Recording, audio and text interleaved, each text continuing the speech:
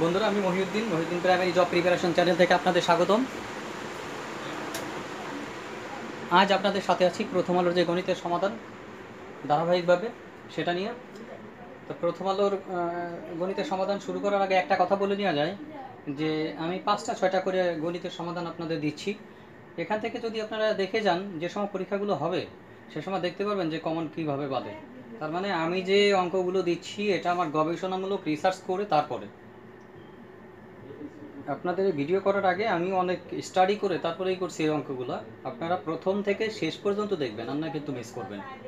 প্রথম থেকে শেষ পর্যন্ত দেখলে হবে কি, আপনার টোটাল এর ভিতর থেকে আসবে এবং আপনি অঙ্কগুলো পারবেন। তা চলুন শুরু করা যাক।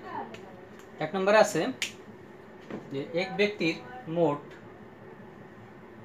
এক ব্যক্তির মোট সম্পত্তির টু থার্ড অংশের মূল্য হচ্ছে নব্বই হাজার টাকা হলে মোট সম্পত্তির মূল্য কত? বলছে, এক ব্যক্তির মোট সম্পত্তির দুই তৃতীয় অংশের মূল্য হচ্ছে নব্বই হাজার টাকা। তাহলে মোট সম্পত্তির মূল্য কত? তাহলে আমরা চলুন এক নম্বরটা শুরু করি। ধরি যে মোট সম্পত্তির মূল্য এক্স টাকা। আমরা যদি এক্স টাকা ধরি, তাহলে বলছে টু থার্ডের মূল্য হচ্ছে নব্বই হাজার টাকা। তাহলে আমরা কি বলতে পারি? যে এক্সের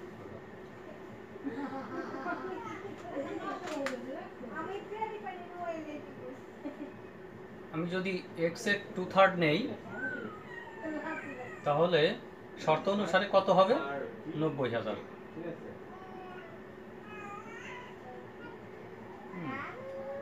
এখানে এক্সের মানটা আমরা বের করলেই আমরা উত্তরটা পেয়ে যাব। তাহলে এখানে কত আসে? টু এক্স বাই থ্রি নব্বই হাজার। টু এক্স সমান সমান আসে কত?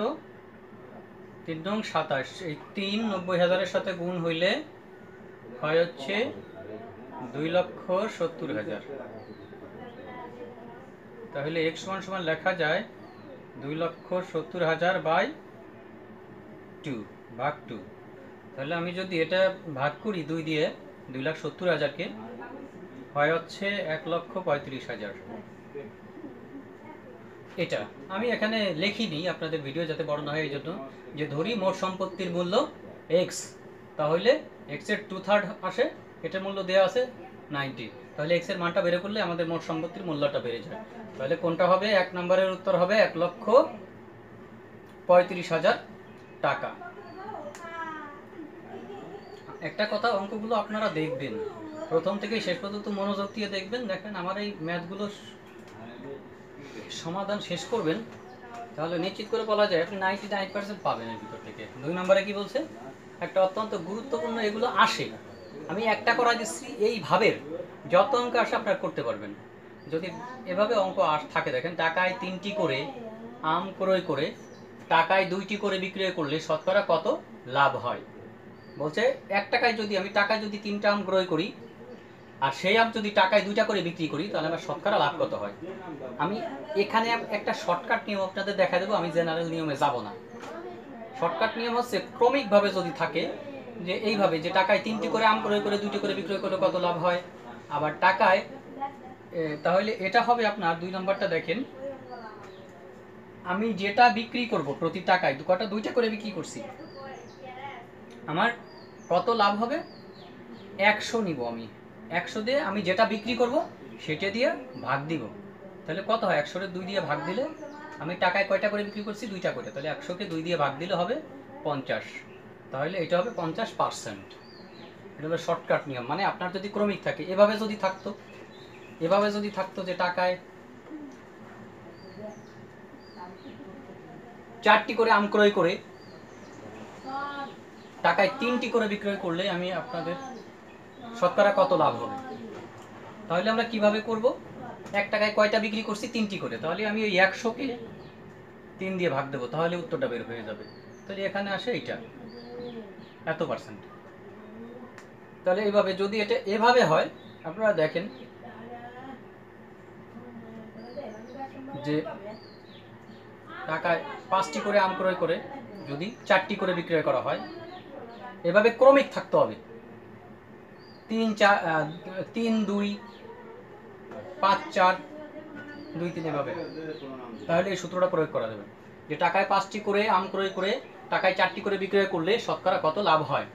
আমি কত টাকা, টাকায় কয়টা বিক্রি করছি? চারটা। তাহলে শতকরা লাভ কত হবে? এটা দুই নম্বরটা করাইতেছি আমি। শতকরা লাভ কত হবে? একশোকে আমি চার দিয়ে ভাগ দেবো। তাহলে কত হয়? শতকরা কত লাভ হবে? চার পাঁচা? সরি, চার পঁচিশে একশো, পঁচিশ পার্সেন্ট। তাহলে এই ধরনের যত অঙ্ক থাকবে আপনারা এইভাবে করে যেতে পারবেন। একটা কথা যে আপনারা অঙ্ক ভিডিওগুলো শেষ পর্যন্ত দেখবেন প্রত্যেকটা। তাহলে আপনি উপকার মানে এটার যে উপকার সেটা আপনি পুরোপুরি পাবেন নাহলে তো মিস করে যাবেন। তিন নম্বরে দেখেন এক থেকে তিরিশ পর্যন্ত মৌলিক সংখ্যা কতটি? এক থেকে তিরিশ পর্যন্ত আপনি দেখেন মৌলিক সংখ্যা হচ্ছে দশটি। এটা মুখস্থ করে নেবেন। আপনার অত হিসাব করার প্রয়োজন নাই যে এক থেকে তিরিশ পর্যন্ত মৌলিক সংখ্যা দশটি। এক থেকে তিরিশ পর্যন্ত মৌলিক সংখ্যা দশটি। মৌলিক সংখ্যা হচ্ছে সেইগুলো যেগুলোকে দুই দ্বারা বিভাজ্য করলে কোনো ভগ্নাংশ থাকে না। চার নম্বরটা দেখেন, চার নম্বরে আছে ষোলো, পঁচিশ, ছত্রিশ উনপঞ্চাশ শূন্য স্থানের সংখ্যা কত? তো শূন্য স্থানের সংখ্যা কত হবে? এখানে কীভাবে ধারাটা গেছে? আমরা একটু দেখি। চার নম্বরে, ষোলোর সাথে যদি নয় যোগ করছে, পঁচিশ। নয় যোগ করছে। তারপরে যোগ করছে পঁচিশ, পঁচিশে যোগ এগারো এগারো যোগ করলে হয়েছে ছত্রিশ। ছত্রিশ সাথে যোগ করছে পরে কত? ছত্রিশ যদি তেরো যোগ করে, তাহলে হলে উনপঞ্চাশ তাহলে একটা ধারাটা আপনি লক্ষ্য করেন। নয়ের পরে এগারো এগারো পরে তেরো, তার মানে প্রতি ক্ষেত্রে দুই দুই করে বাড়ছে। নয় যোগ করছে, তারপরে এগারো যোগ করছে, তারপরে তেরো যোগ করছে। তাহলে এরপরে কত যোগ করবে? দুই দুই যদি- করে বাড়াই এই ধারাবাহিকতায় পনেরো। তাহলে এই পনেরোর সাথে যদি আমি এই উনপঞ্চাশ যোগ করি, তাহলে কত আসে দেখেন? এখানে আসে চার, হাতে থাকে না নয় পাঁচ, চোদ্দ চার, হাতে থাকে এক, চার আর এক পাঁচ আর হাতের এক ছয়, চৌষট্টি। তাহলে পরবর্তী এখানে ধরা হবে চৌষট্টি, খ নাম্বার। এবার দেখেন, পাঁচ নম্বরে পাঁচ নম্বরে আছে, S equal to B equal half হলে A plus one by B এর মান কত? এ সমান সমান কত আছে এখানে? টু।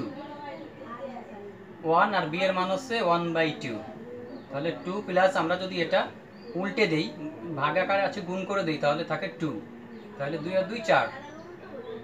এটা হবে ফোর এটা কত হবে? ফোর এগুলো অত্যন্ত ইজি তবে আপনাদের করতে হবে, দেখতে হবে, দেখলে আপনারা পারবেন।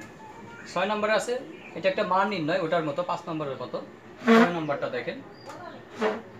ছয় নম্বর আছে কত? Five X by four equal X by four plus one হলে এক্সের মান কত? তো এখানে এক্সের মানটা আমরা বের করি five X plus by four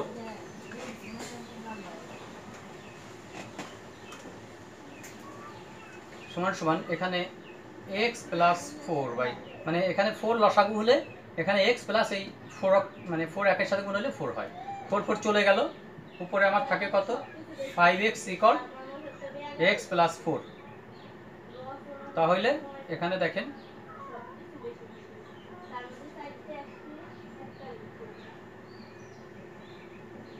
এখানে কত হয়? ফাইভ এক্স মাইনাস এক্সটা নিয়ে আসলাম, এখানে থাকে ফোর তাহলে এখানে থাকে কত? ফোর এক্স সমান সমান ফোর তাহলে এক্স সমান সমান কত হয়? ফোর বাই ফোর এটাটা কেটে গেলে থাকে হচ্ছে ওয়ান তাহলে এটার উত্তর কত হবে? ওয়ান এটা একটা মান নির্ণয় আপনারা বুঝতে পারবেন। ছয় নম্বরের উত্তর হচ্ছে ওয়ান আপনারা প্রথম থেকে শেষ পর্যন্ত ভিডিওটা মনোযোগ সহকারে একবার দেখেন, দেখবেন হয়ে গেছে। আমি গণিতের এটা এরপরে আপনাদের সামনে আসবে যে আমি কিছু ইংলিশ দিব। ইংলিশ প্রোনান স্পেলিং দেখবেন বিশটা, তিরিশটা স্পেলিং দেবো, ওর ভিতরে সারা জীবন পাবেন। সব স্পেলিং আজ এ পর্যন্তই। আমার এই ভিডিওগুলোর আপনারা অবশ্যই আমার চ্যানেলটি সাবস্ক্রাইব করবেন। যদি সাবস্ক্রাইব না করেন তাহলে আমি নতুন নতুন ভিডিও আসলে আপনাদের দেওয়ার জন্য উৎসাহিত হতে পারব না, বা আমি আবার উৎসাহ হারিয়ে ফেলব আমাকেও যেন আপনাদের সাথে থাকতে পারি, সেজন্য আমার চ্যানেলটি অবশ্যই সাবস্ক্রাইব করবেন আর আপনাদের মন্তব্য আমার কমেন্ট বক্সে জানাবেন। আর আমার এই পিছনের যে সাধারণ জ্ঞান এবং গণিতের যে ভিডিওগুলো আছে, আমি এটার সাথে সেইগুলো লিঙ্ক দিয়ে দিচ্ছি। প্রথম আলো সকল সাধারণ জ্ঞানের সমাধানের লিঙ্ক দিয়ে দিচ্ছি।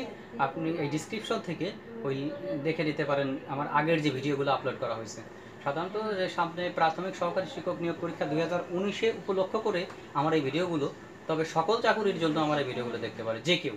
কারণ জেনারেল ইংলিশ